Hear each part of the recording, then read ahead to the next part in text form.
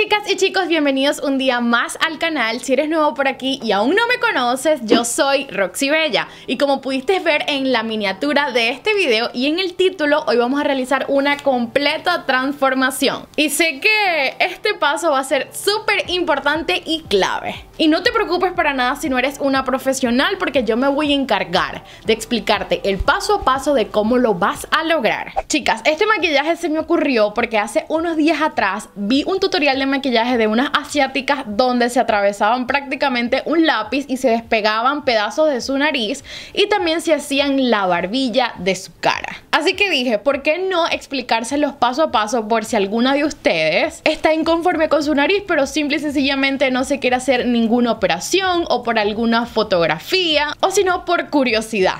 Ya que en mi caso mi nariz también es plana y no tiene ese arco perfecto. Pero no se preocupen que lo vamos a conseguir. Lo primero que tienes que hacer es tener tu cara bien limpia para poder empezar a trabajar en ella. Y el primer producto que voy a estar aplicando en la nariz para que se adhiera todo el producto va a ser esta pega de la marca de Duo que a diferencia de las otras, esta seca en transparente. Y lo voy a aplicar justamente donde voy a colocarme la carne artificial. Chicas, y no se preocupen que este producto nosotros normalmente lo utilizamos para nuestras pestañas postizas donde lo aplicamos bien pegadito a las pestañas y recordemos que esta área es mucho más sensible que el área de nuestra nariz, así que no va a suceder ningún percance cuando estemos realizando esta pequeña cirugía. Mientras esto se seca, lo que sí les recomiendo es que utilicen uno de estos guantes de látex para poder empezar a trabajar con los productos porque si lo realizamos con nuestros deditos saben perfectamente que tenemos el calorcito corporal y cuando lo deslizamos por nuestra nariz como que se pone mucho más aguadito. Así que prefiero que utilicen uno de estos guantes de látex para trabajarlo mejor. Ya que esto secó perfectamente, lo que voy a hacer es utilizar este producto que en realidad es bastante económico y esto lo que hace es simular piel. Puedes hacer cualquier tipo de cosa con este producto. Yo voy a estar utilizando como espátula mi pinza de cejas. Voy a agarrar el producto, lo voy a poner en mi mano y con mis dedos voy a tratar de hacer el arco manualmente que me voy a estar colocando o aplicando en mi nariz. Luego que ya está listo, lo voy a colocar justamente donde quiero que pegue y con la mano donde no tengo guante voy a ir esparciendo el producto para ir pegando todas las orillas. Y ahora sí voy con mi guante a terminarlo de perfeccionar. Chicas, aquí les recomiendo que se tomen todo el tiempo necesario hasta que ustedes vean que está perfecto. Ya después que lo difuminé perfectamente bien, miren la diferencia en cómo mi arco se hizo más parejo en mi nariz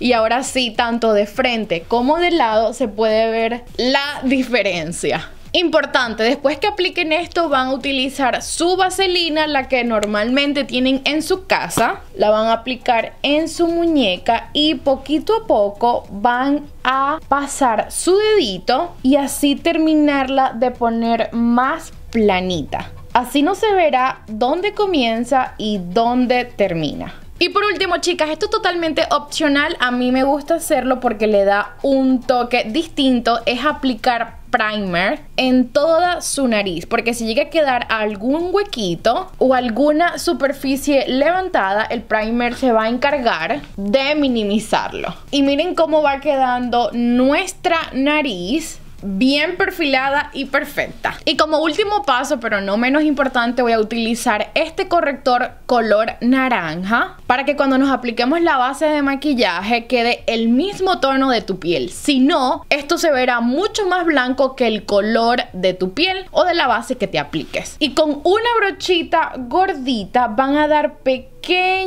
toquecitos. Y con una esponjita lo que voy a hacer es quitar todo el exceso de corrector naranja que me apliqué. Y luego voy a pasar a aplicar un corrector bastante similar al color de mi piel para ya hacerlo mucho más parecido a mi color. Y de nuevo voy a pasar con mi esponjita a difuminarlo. Chicas, aún no está completamente lista, pero ya este sería más o menos el resultado de nuestra nariz. Pero lo que voy a continuar a realizar es mi maquillaje, como normalmente lo realizo, así que todo lo van a poder ver un poco más rápido de lo normal. Sin embargo, les recuerdo que si quieren ver un tutorial de maquillaje donde se los explique paso a paso, no olviden de suscribirse, de activar las notificaciones y darle me gusta a este video para que no te los pierdas. Así que continuemos. Chicas, al final de este video les voy a mostrar el resultado final de cómo quedaría nuestra nariz, ya que aún falta terminar de contornearla, darle iluminaciones, pero lo que les estoy mostrando ahorita en pantalla es lo que pueden conseguir en mi canal de YouTube, donde me dedico a realizar tutoriales de maquillaje explicados paso a paso y no necesita ser para nada una profesional porque ese va a ser mi trabajo, enseñarte a que tu maquillaje se vea perfecto. También te muestro los productos que vienen saliendo al mercado, así que te aseguro que no te arrepentirás de suscribirte a este canal. Y me pareció bien importante mostrarles este paso, ya que aquí pueden ver toda la transformación completa y que no piense que son cosas de montaje o Photoshop ni nada de esas cosas. Saben que yo siempre he sido bastante transparente y clara con ustedes y me gusta mostrarle todo el procedimiento de cómo realizo cada video y cada maquillaje. Por si alguna se lo pregunta, yo me tardo alrededor de una hora realizando mi maquillaje, pero en este caso tardé 15 minutos más de lo inusual, ya que tengo que ser muy cuidadosa al momento de aplicarme y difuminar algún producto en el área de la nariz. El maquillaje, como pueden ver, abre mucho más tu mirada, me elimino por completo las imperfecciones, perfilo mi nariz con correctores y por eso se ve un cambio mucho más drástico que en el de la foto.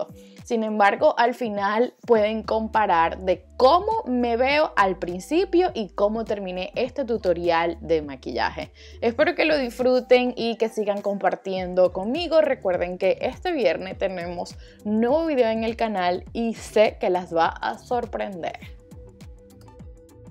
Ok chicos, y por último para terminar de perfeccionarla lo que voy a hacer es tomar mi corrector con una brochita plana y voy a trazar una línea dando toquecitos como lo realicé del otro lado. Aquí voy a oscurecer un poco para hacer mi nariz más respingada. Y ahora lo único que queda hacer es difuminar esas líneas para que no se vean para nada marcadas. Truquito importante es volver con su esponjita y polvo translúcido y sellar de nuevo su nariz. Más que todo en las aletitas. Como pueden ver así se verá mejor el efecto y luego con cuidado van a retirarlo con una brochita. Voy a terminar de aplicar el rubor en mis mejillas y por último el iluminador en el huesito de mis pómulos. También en el arco de cupido. Y por último con mi dedito donde va el anillo voy a poner un puntito aquí en la nariz y lo difumino. Así que bueno chicas, este ha sido el resultado final de nuestra nariz. Como pueden ver queda bastante natural.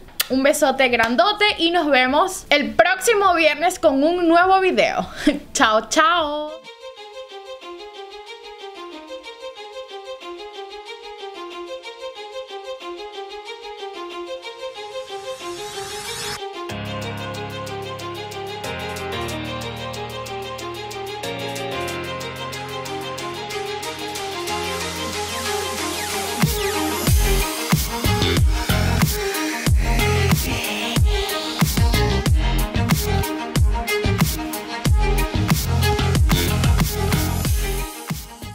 Te invito a que me sigas para que no te pierdas ningún truco, porque aquí te mostraré todo.